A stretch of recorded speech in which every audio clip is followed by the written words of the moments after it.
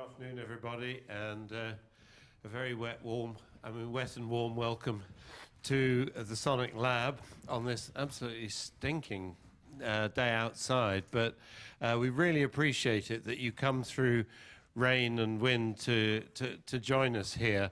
Um, there must be the temptation, as I'm sure there is for some, hello, to join us on the live stream and stay in the warm at home. So we're delighted if you're joining us on the live stream, and we very much appreciate it, uh, particularly for live jazz, to have you here, some of you here in the hall.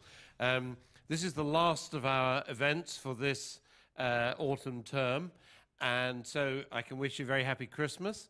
And uh, in the new year, our events will start again uh, in, let me get this right, uh, we'll start again in here, uh, 18th of uh, January with Lee Gamble, and uh, then the next one, the 25th, will be uh, violin and piano recital by Matilda Milwidsky and Huw Watkins in the Harty Room. So back here on the 18th, and you're always very welcome at 10 past 1. Uh, we have fire exits over there and behind you, the door through which you came. Um, and I'm confident that any kind of damp lingering will be rapidly uh, eradicated by the, the welcome uh, and the, the general kind of uh, of our soloist today. It's a huge pleasure to welcome back Steve Barnett and friends. Uh, we have a tradition of this concert, I should say. We, we nearly always have, uh, as this last concert before Christmas, a jazz event. And uh, not for the first time today, I'm delighted to say that we're welcoming back as guest star Gordon Campbell, one of the most distinguished Brit British trombonists, a star of the BBC Big Band, and numerous other uh, events. Uh, we've had one or two attempts to get him, which foundered with COVID and so on, and it's a real joy to have him back here today. Um, and so please, without more ado, join me in welcoming Steve Barnett and the trio and Gordon Campbell. Thank you.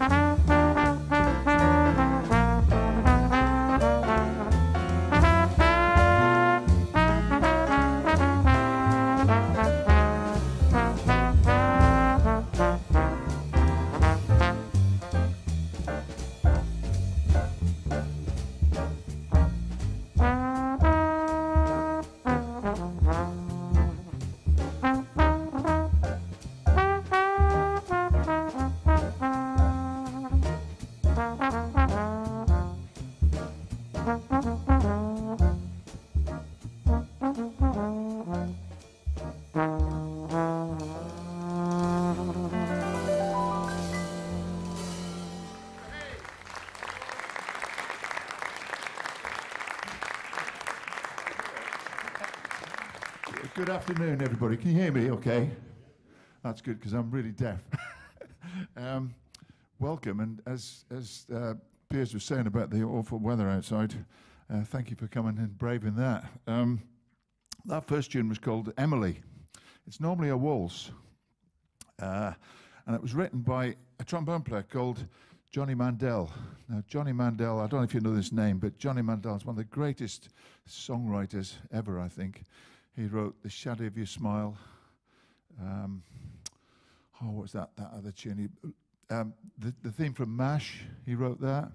Uh, on YouTube at the moment, there's a, there's a lovely program of him with an American big band, or his big band, in LA. Uh, and I've just been watching it all week. It's absolutely fantastic. Check it out, Johnny Mandel's big band. Uh, so that was Emily. Uh, we're now going to play something that's based on a tune called In a Mellow Tone, but it was uh, Ben Webster wrote this tune, and it's called Did You Call Her Today? I think you'll like this. One, two, one.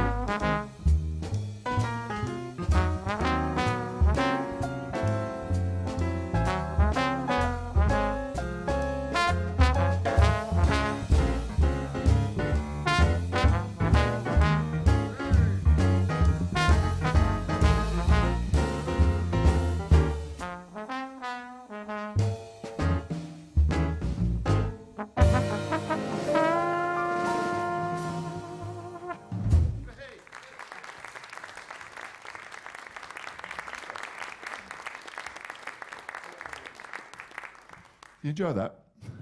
It's great, isn't it? Um, ben Webster was one of my favourite saxophone players, you know, and I heard heard him play that with Harry Sweets Edison, the great trumpet player. And I thought, oh, I'd love to play that. So that was that was. Uh, Did you call her today? Uh, the next tune, uh, it's something happened a few weeks ago. There's a there's a great film called The Paris Blues, which Louis Armstrong's in, and Paul Newman, the great actor, plays the trombone and uh, he plays it really well, actually. He's actually miming to a, a guy called Murray McEachern, who was a Canadian trombone player, who's a wonderful trombone player. And, uh, but his miming skills are very, very good. like he knows how to work, use the slide, you know. Um, so my wife came to me and she said, go on, look at this. It's on YouTube. It's called, um, uh, well, the tune's called Mood Indigo. And she said, look, it's Paul Newman playing the trombone I said, Yeah, that's not Paul Newman, that's Murray McEachern. I said, I can play that tune. She said, You might be able to play that tune, but you'll never be as good looking as him. That's nice, isn't it? so we're going to play for you uh, Duke Ellington's Mood Indigo.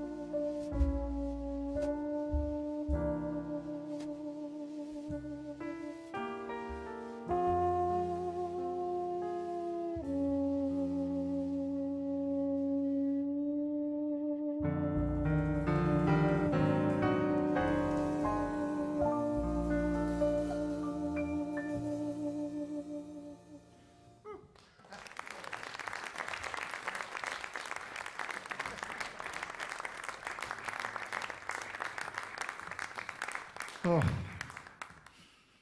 Oh. it's lovely getting older.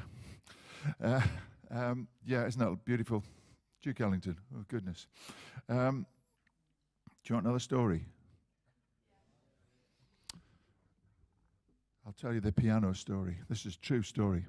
Um, a dear friend called uh, Don Innes, who was a wonderful piano player, wonderful musician, lovely man, beautiful man. Came, came from Aberdeen, just inland from Aberdeen.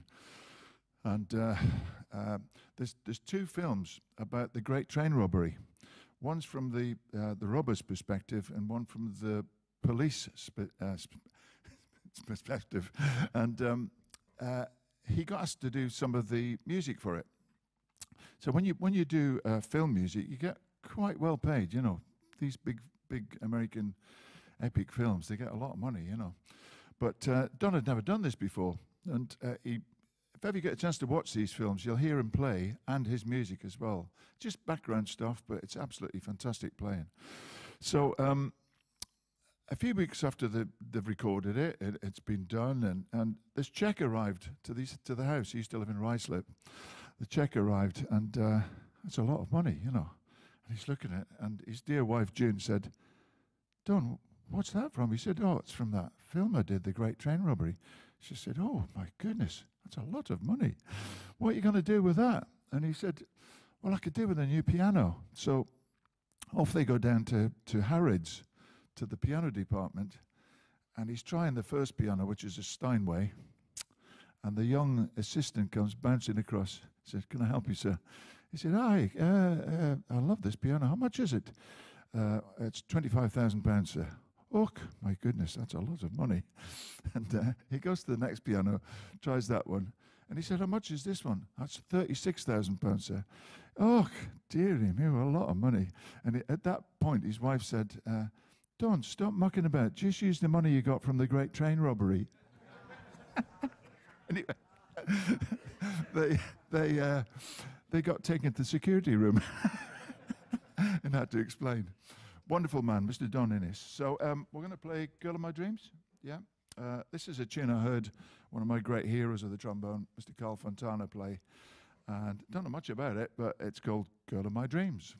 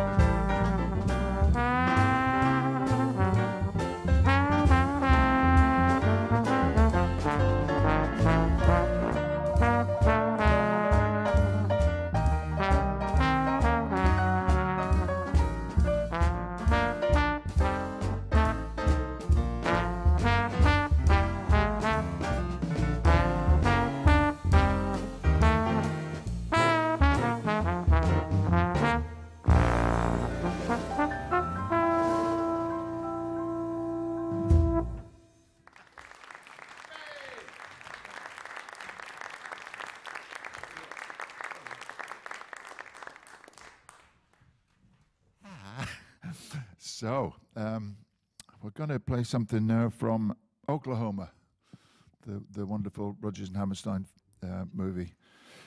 Um, and it's called Surrey with a Fringe on Top, but it's got a bit of a difference. Again, my uh, my great hero on the trombone, Carl Fontana, heard him play this, and I thought, oh, we could do that. Um, so this Surrey with a Fringe on Top with a difference.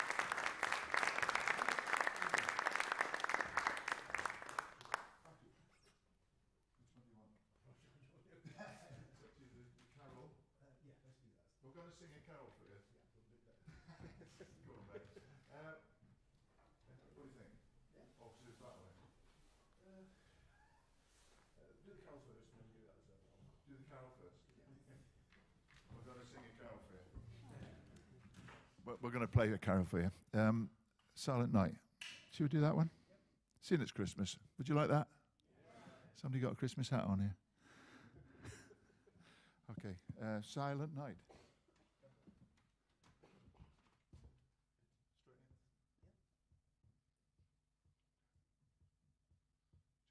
One, two, three, two.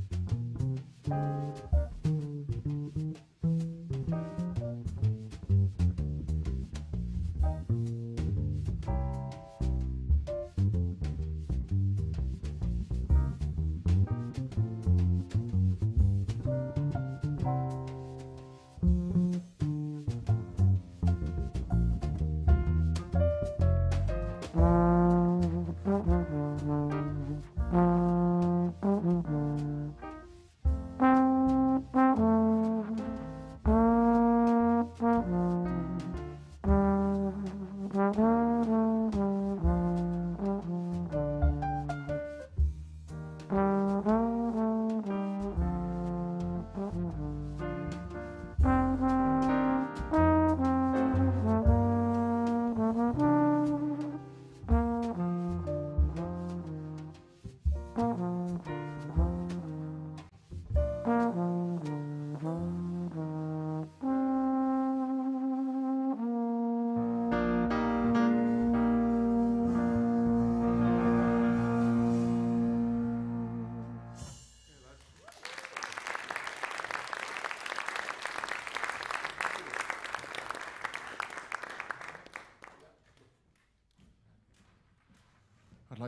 Guys here, um, Steve, Rod, Andy, Andrew. Um, we just sort of gathered together for a quick rehearsal and come up with this. Isn't it magic? Music is magic. Uh, Steve, kept, Steve was saying, uh, what, let's sort out an ending. I said, no, the universe will give us the ending. and it did. I don't think we went wrong, did we? I did, but um, thank you so much again for coming um, today in the horrible weather. Um, put your hands together for the rhythm section, guys. Thank you.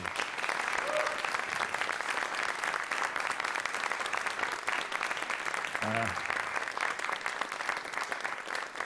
one of my favourite, favourite trombone players ever was Bob Brookmeyer. I was lucky to work with him. Uh, great composer, great, just, just great everything, great valve trombone player. And uh, he made an album with Clark Terry, and they played this tune. It's a hymn, but it's called the Battle Hymn of the Republic. It could be American. Um, and we're going to play that to for our finale. Yeah? Okay, the bat. Thanks again. We'll see you sometime. I didn't come last year because it was my 70th birthday. you didn't? Yeah, Steve said, Oh, I've got a gig for you on 1st of December. I said, Steve, I'm sorry, mate. It's my big birthday. I'm celebrating. So uh, it's lovely to be- to be back again. But uh, see you sometime. Thank you.